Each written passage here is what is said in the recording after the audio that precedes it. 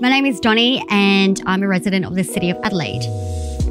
I've been living here for eight years, predominantly in the southeast corner of the city. I love that I'm close to everything um, and it's only a 10 to 15 minute walk so I can get my steps in. I love that I'm in the hustle and bustle, so there's that great energy and vibe going on. But you're also surrounded by all these beautiful parklands, which help you escape that and get into nature. When COVID hit, it was quite difficult to see um, especially because there was lots of my favorite businesses and just local bars and cafes shut. My friends were affected by that because lots of them are in that industry too. And I really miss the vibrancy of the city because it just felt like it was lost overnight.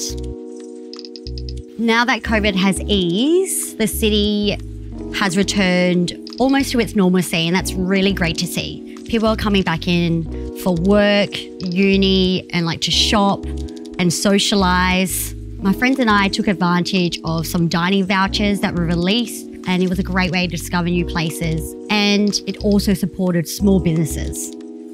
It's really valuable because these small businesses is what makes a city beautiful and have its charm. And it's a way to bring people back into the city.